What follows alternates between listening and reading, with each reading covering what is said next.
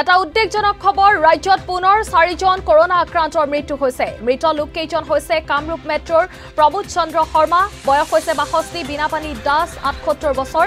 কাছাৰৰ এছ কে ৱাগলা তিনিচুকীয়াৰ প্ৰশান্ত শইকীয়া মৃতকৰ পৰিয়াললৈ সমবেদনা স্বাস্থ্যমন্ত্ৰী ডক্টৰ হিমন্ত বিশ্ব শৰ্মাৰ সমগ্ৰ ৰাজ্যতে এক ভয়ংকৰ পৰিস্থিতি উদ্বেগজনকভাৱে এতিয়া কভিড নাইণ্টিনত আক্ৰান্তৰ সংখ্যা বৃদ্ধি পাবলৈ ধৰিছে। তাৰ সমান্তৰালভাৱে এতিয়া মৃতকৰ সংখ্যাও বাঢ়ি গৈ আছে।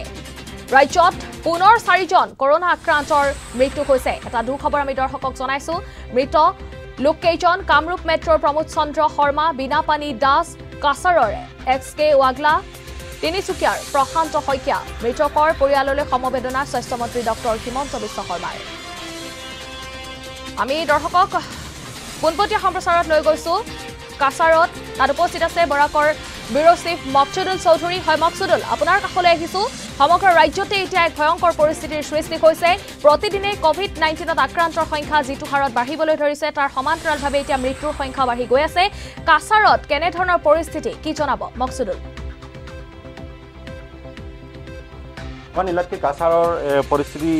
যথেষ্ট উদ্বেগজনকভাৱে বৃদ্ধি পাইছে। কাছাৰৰ কৰোণা আক্ৰান্তৰ সংখ্যা প্ৰতিদিনে এজন এজনকৈ আক্ৰান্ত হৈছে আৰু আজি যি উদ্বেগজনক খবৰ এয়া হৈছে যে আজি এজন কৰোণা আক্ৰান্তৰ মৃত্যু ঘটিছে। দিনৰ ভাগত এ, শিলচৰ চিকিৎসা মহাবিদ্যালয়ত চিকিৎসাধীন থকা অৱস্থাত এই এম কে বাগলা নামৰ যিজন আচলতে আচলতে জোৱান আছিল এইজন জোৱাল আচলতে পশ্চিমবংগৰ বাসিন্দা হয় আৰু এইজনৰ মৃত্যু ঘটিছে আৰু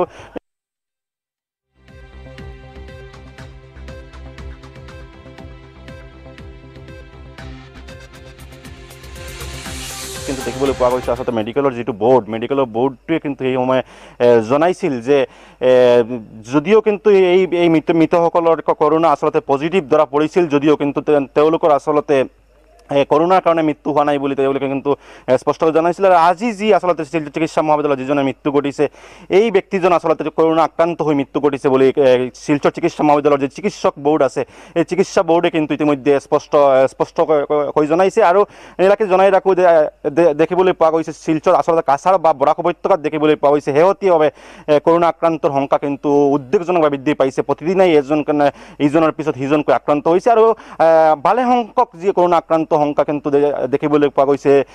কোনো ধৰণৰ ট্ৰেভেল হিষ্ট্ৰী নাই বা কোনোবা কোনোবা এজনৰ বা কোনোবাৰ সংস্পৰ্শলৈ অহাৰ পিছত এইসকল কৰোণা আক্ৰান্ত হৈছে। সেয়া সেই যথেষ্ট উদ্বেগজনক কাছাৰ বা বৰাক উপত্যকাৰ যি আচলতে প্ৰশাসন আছে প্ৰশাসনে কিন্তু শেহতীয়াভাৱে অত্যন্ত কঠোৰ হৈছে। কাছাৰত দেখিবলৈ পোৱা গৈছে সপ্তাহত দুইদিন কিন্তু লকডাউন ঘোষণা কৰা হৈছে আৰু লগতে প্ৰতিদিনাই কিন্তু আ, নৈশ যি কাৰফিউ নৈশ কাৰফিউ কিন্তু জাৰি আছে আৰু দেখিবলৈ পোৱা গৈছে শনিবাৰ বা ৰবিবাৰ দেওবাৰ দেওবাৰ আচলতে কাছাৰত বিশেষকৈ লকডাউন কৰা হৈছে। কাছাৰৰ সম্পূৰ্ণ যি আচলতে স্বাভাৱিক যি জনজীৱন স্বাভাৱিক জনজীৱন কিন্তু বন্ধ কৰি দিয়া হৈছে আৰু শেহতীয়াভাৱে কৰোণা আক্ৰান্তৰ সংখ্যা কিন্তু দিনে দিনে বৃদ্ধি পাই আছে। হয় নীলাকেই হয় ইতিমধ্যে সবিশেষ জনাইছে মকচুদুল চৌধুৰীয়ে কিয়নো এতিয়া সমগ্ৰ ৰাজ্যতে এক ভয়ংকৰ পৰিস্থিতিৰ সৃষ্টি হৈছে আৰু শেহতীয়াভাৱে দেখিবলৈ পোৱা গৈছে কাছাৰতো ভয়ংকৰ পৰিস্থিতিৰ সৃষ্টি হৈছে। প্ৰতিদিনে কভিড নাইণ্টিনত আক্ৰান্তৰ সংখ্যা বাঢ়ি গৈ আছে। হয় মকচুদুল শেহতীয়াভাৱে প্ৰশাসনে কাছাৰত কেনেধৰণৰ ব্যৱস্থা লৈছে?